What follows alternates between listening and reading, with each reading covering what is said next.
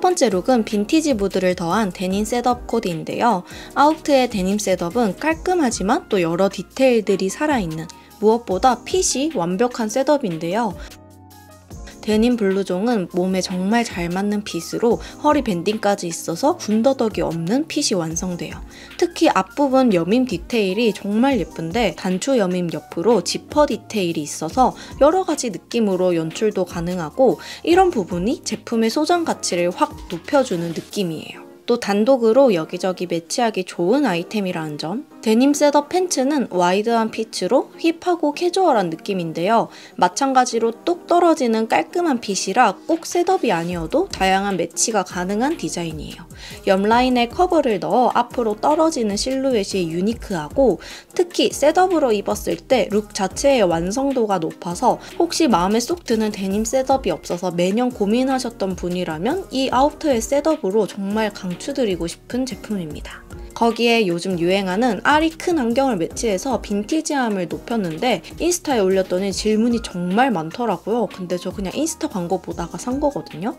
이런 아이템 하나가 룩의 무드를 확 살려주는 느낌이죠. 알이 커서 기스가 나지 않도록 조심해줘야 하는 거 말고는 여기저기 쉽게 매치하기 좋고 또 알이 크다 보니까 얼굴이 작아 보이는 효과까지 있어서 마음에 들었어요. 또 베이지 컬러의 부츠로 안경이랑 컬러감도 맞춰졌는데 브랜드 앱토의 제품인데 바지 안에 넣어서 착용해도 좋고 이 부츠 자체의 태가 너무 예뻐서 다 드러내서 또 스커트나 쇼츠 밑에 매치해줘도 너무 예쁜 제품이라 이번 가을 겨울에 주구장창 착용할 아이템입니다. 두 번째 룩은 귀여운 뽀글 자켓에 저만의 힙한 무드를 한 방울 더한 코디인데요. 참고로 바지는 시즌 오프 제품이라 구매처가 더 이상 없다는 점 참고해주시고요. 이 빈티지한 카키 컬러의 뽀글 자켓은 마론 에디션 제품인데요.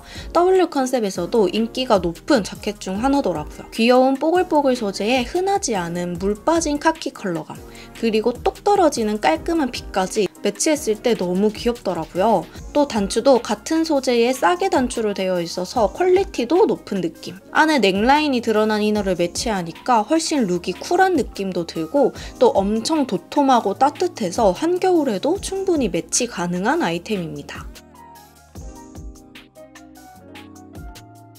inner티는 넥라인이 정말 시원하게 파인 니트 티셔츠인데 기본템으로 매치하기 좋은 제품이에요. 저는 넥라인이 시원해야 답답해 보이지 않아서 이걸로 선택해봤는데 단독 fit은 그렇게 예쁜 느낌은 아니어서 사실 inner로 매치하기 좋은 아이템이더라고요. 가을 겨울에 입기 좋게 워머 디테일까지. 마냥 hip하지 않게 클래식한 느낌의 cardinal red 뭉크백을 매치해주니 mini bag이어서 look을 경쾌하게 만들어주면서 또 체인 디테일이 클래식한 무드도 더해주더라고요. 세 번째 look은 정말 hip함 그 자체의 MZ 같은 코디인데요. 블랙과 데님의 조합으로 시크하고 멋진 느낌이죠. outer는 129의 leather bomber 자켓. 딱 소장하면 여기저기 휘뚤마뚤 매치하기 좋은 아이템인데요. standard한 fit감에 two-tone vegan leather 소재로 고급스러운 느낌이 들었고 누빔 안감으로 겨울까지 충분히 매치하기 좋은 아이템이에요. 또 소매랑 허리 시보리로 fit감을 딱 잠궈주는 느낌이라 어떤 하의와의 매치도 좋았는데요. 전체적인 절개 디테일까지 들어가서 만듦새가 더 unique한 느낌이었어요. 안에는 129의 니트 집업 매치했는데요. 부드럽고 말랑한 소재의 니트라 몸에 착 감기는 fit인데요. two-way 지퍼로 다양한 느낌을 연출할 수 있어서 hip하게도 또 daily하게도 휘뚤마뚤 매치할 수 있고요. FW답게 워머 디테일까지. 부분 부분 해진 디테일이 또 street한 무드를 살려주고 또 옆주머니도 있어서 가벼운 소지품을 넣기도 괜찮았어요. 같이 매치한 팬츠 너무 궁금하셨죠? 제가 요즘 푹 빠진 데님인데요. 이 데님 fit 진짜 너무너무 너무 예쁘지 않나요?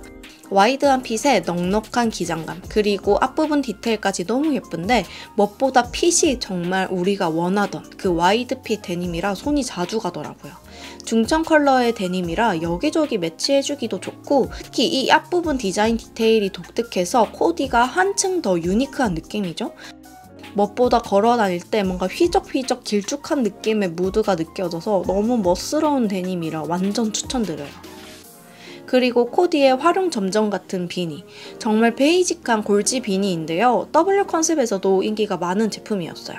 적당한 깊이감으로 푹 눌러쓰기 좋고 매치하기만 해도 무드를 높여줘서 코디하기가 좋았어요. hip한 look 아니어도 쉽게 매치하기 좋은 아이템이라 비니 입문자들에게 추천드리고 싶어요. 그리고 벨트도 보셨을 텐데 아워레가시 벨트이고 귀여운 꽃 모양 punching이 들어가 있어서 포인트도 되고 또 구멍이 많다 보니 허리 구멍을 따로 뚫을 필요도 없어 너무 좋더라고요. 끝부분이 메탈 소재로 처리돼서 아래로 툭 떨어지는데 그 fit감이 너무 예뻐서 정말 자주 착용하고 있어요. 그리고 신발은 제가 구두 신은 날 발이 너무 아파서 샀던 아디다스인데요. 이건 삼바가 아니라 스페지알이라는 디자인인데 leather 소재로 되어 있어서 더 시크하고 stylish한 느낌이 들고 은근 여기저기 코디하기가 너무 좋더라고요. 다만 발바닥에 푹 들어간 부분에 맞춰서 바닥이 올라와 있는데 처음 신은 날엔 발에 자꾸 담이 걸렸던 기억이 있으니 이 부분은 참고해주세요. 네 번째 look은 제가 정말 자주 매치한 아이템으로 코디한 look인데요. 딱 가을에 입기 좋은 제 취향이 가득한 깔끔 시크 코디예요. 더일마의 leather 자켓인데 제가 여태 입었던 leather 자켓 중 최애 제품이에요. crop한 기장감에 부드러운 지퍼, 그리고 목 부분 니트 소재 뒷 라인까지. 여러 디테일 모두 마음에 쏙 들었어요. 특히 어깨에 따로 패드가 없는데도 깔끔하게 핏이 떨어지고 고급스러운 leather 소재라 look 자체가 세련된 느낌도 들었어요. crop 기장이라 잠궈 입어도 답답하지 않고 목 부분도 니트 소재라 부드럽게 바람도 잘 막아주더라고요. 또 가볍게 툭툭 걸치기 좋은 leather 자켓이어서 한겨울에는 두꺼운 outer 안에 layering해서 입어주기도 좋은 제품인 것 같아요.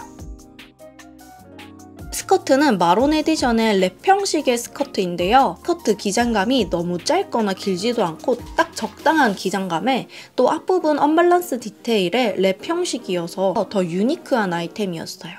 또 A라인 디자인이라 허벅지 커버도 해주면서 기본 디자인인 만큼 여기저기 매치하기 쉬워서 손이 자주 갔어요. 또 핏이 깔끔한 기본템이라 오래오래 매치하기 좋아서 이런 기본 스커트 없으면 quality 좋은 이 스커트로 추천드리고 싶어요. 안에 매치한 브이넥 꽈배기 니트는 소프트 서울 제품인데요. 부드러운 오트밀 컬러여서 여기저기 매치하기 좋은데요. 브이넥이 깊게 파여 있어서 넥라인이 시원해 보이고 부분 부분 해진 디테일이 있어서 밋밋하지 않아서 더 좋았어요. crop 기장이라 경쾌한 느낌도 있고 또 다리도 길어 보이면서 여유로운 fit이라 꾸안꾸 코디에도 찰떡이더라고요.